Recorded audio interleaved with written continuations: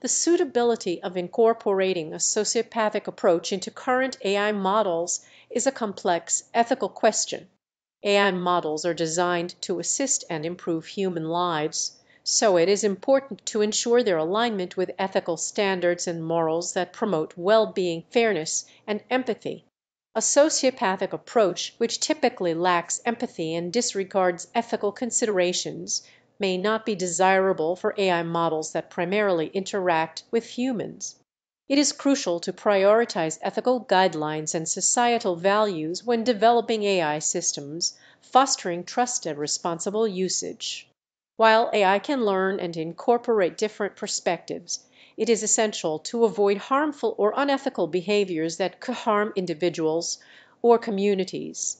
Ultimately, AI should be designed with the intention of benefiting humanity as a whole and upholding moral and ethical principles.